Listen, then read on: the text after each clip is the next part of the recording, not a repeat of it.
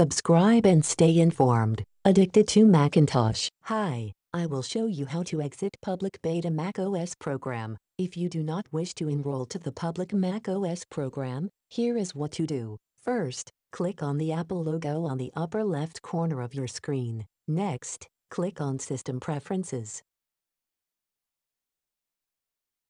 At System Preferences, click on Software Update.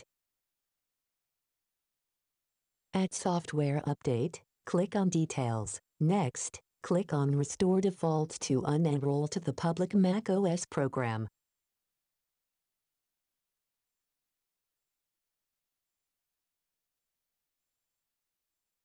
It's that simple. Hope you enjoy this video. Have a nice day. Subscribe and stay informed. Addicted to Macintosh.